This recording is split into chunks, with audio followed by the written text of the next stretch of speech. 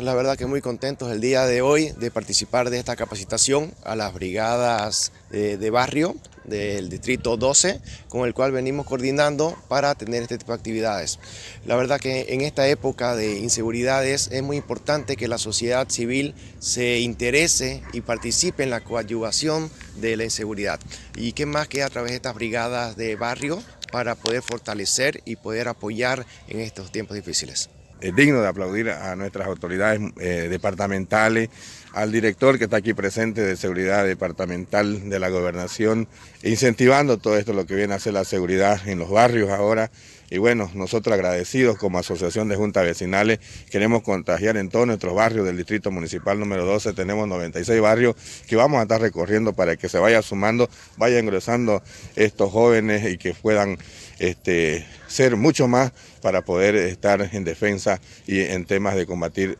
la inseguridad ciudadana en este distrito. Nuestra misión nosotros como brigadas, con, con la capacitación que hemos llevado, eh, somos brigadas voluntarios y somos preventivos,